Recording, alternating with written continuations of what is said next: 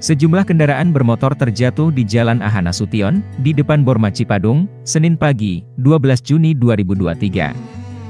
Di tengah aktivitas warga yang hendak mengantar anak ke sekolah dan pergi ke kantor.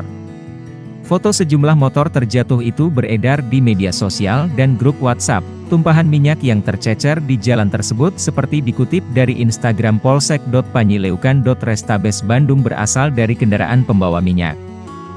Diduga kendaraan yang membawa minyak tercecer itu pun dipampang dalam Instagram tersebut.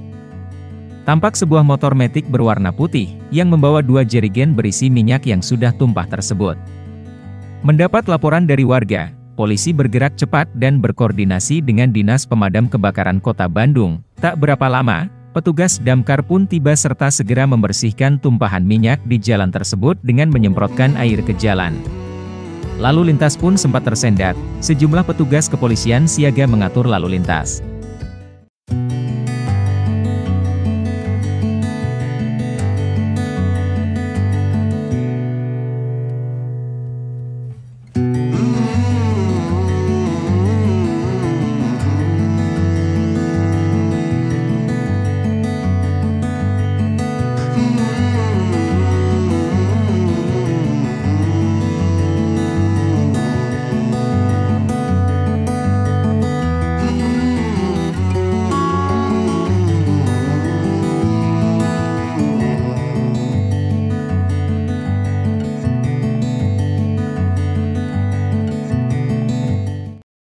Terima kasih sudah nonton.